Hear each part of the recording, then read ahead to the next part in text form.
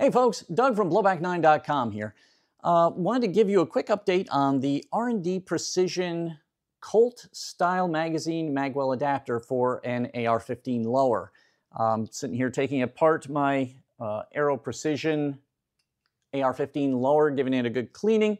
And I remembered that one of my viewers had mentioned that uh, they use a little bit longer screws for this adapter in order to make it fit a little better and hold a little better. And I think that's a really good idea.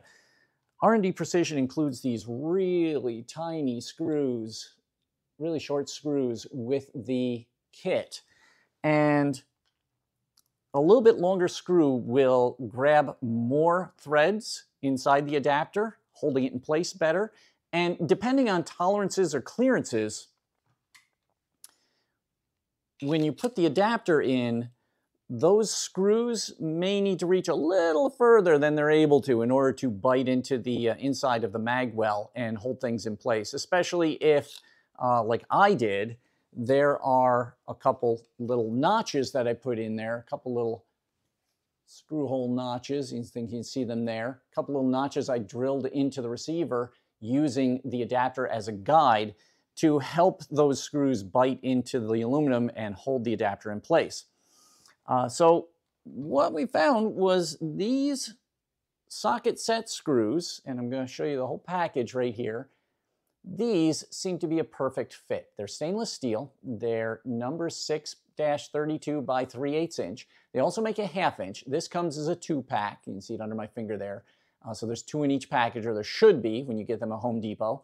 Uh, but the, uh, there's also a half inch length that comes in a one pack.